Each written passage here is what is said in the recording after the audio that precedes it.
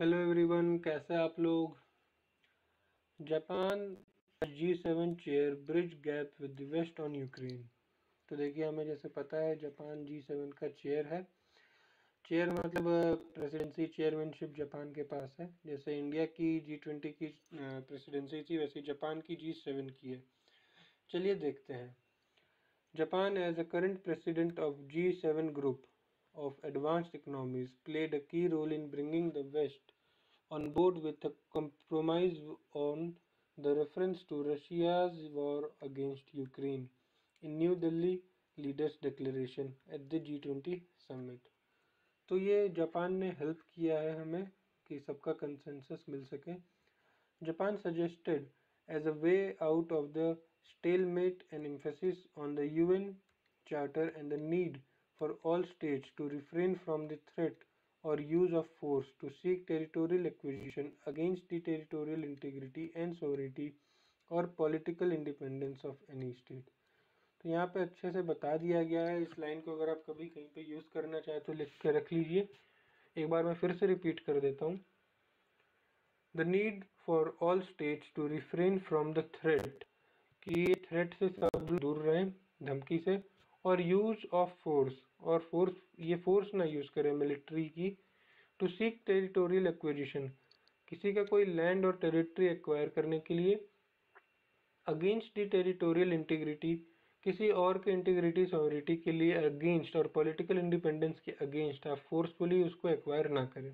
ये इसमें बताया गया है। As mentioned in the declaration paragraph on Ukraine the new Delhi declaration however did not as in last year's Bali declaration, refer aggression by Russian Federation against Ukraine. Language that Russia and China has opposed. तो जो इन लोग को था problem हमने वो solve किया ताकि consensus हमें मिल सके।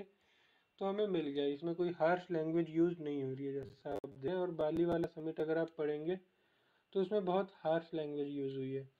आपको चलिए लास्ट में एक फन फैक्ट बताऊँगा यहाँ पे लिख ले रहा हूँ।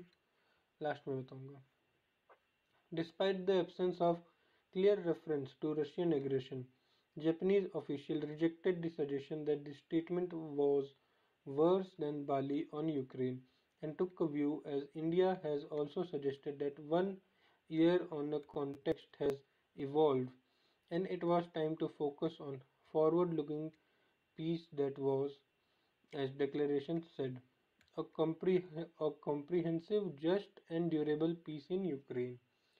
The leader's declaration is a strong statement of support, as you see, for a comprehensive, just, and durable peace in Ukraine that will uphold the uh, uphold the purpose and principle of the UN Charter.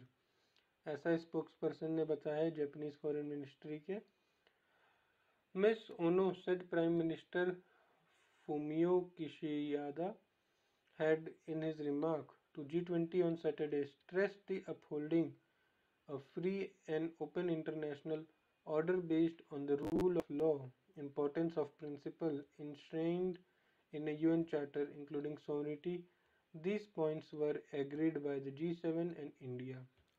India and Japanese officials said the concurrent presidency of India and Japan of the G20 and G7 respectively played a role in bridging differences between West and Global South on many key issues beyond Ukraine. तो Ukraine से आगे भी की issue के ऊपर जैसे Japan को मिला है जी सेवन का इंडिया को मिला है जी ट्वेंटी का तो इन्होंने ग्लोबल साउथ ये ये होंगे ग्लोबल नॉर्थ, ये हो गए global south.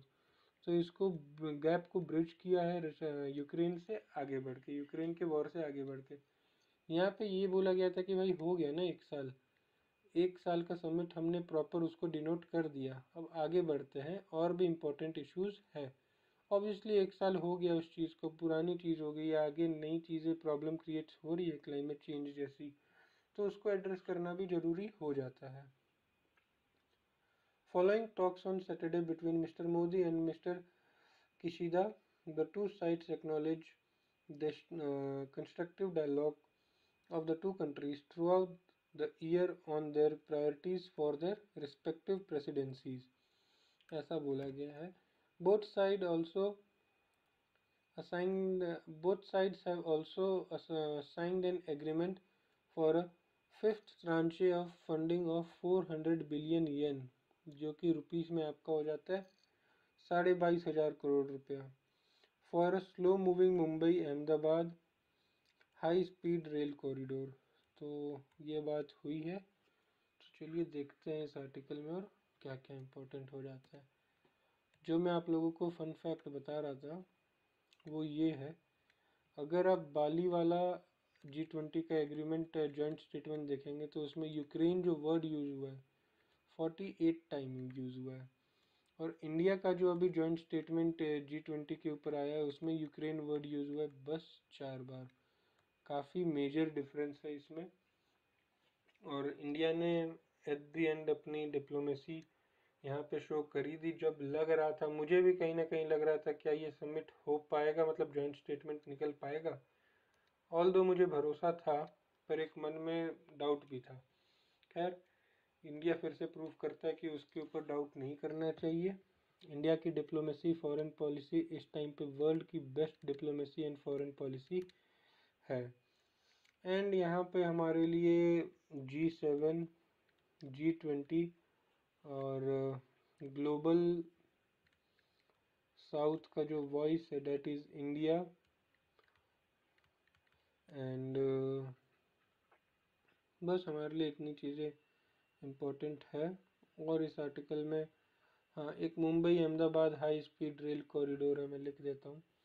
Mumbai Ahmedabad high speed rail corridor उसके लिए हमें मिला है बाईस हज़ार पाँच सौ crore rupees from Japan and Japan is in support of India Ukraine से आगे बढ़ के हमने और भी कई की इश्यूज़ को यहाँ पे हाईलाइट किया है।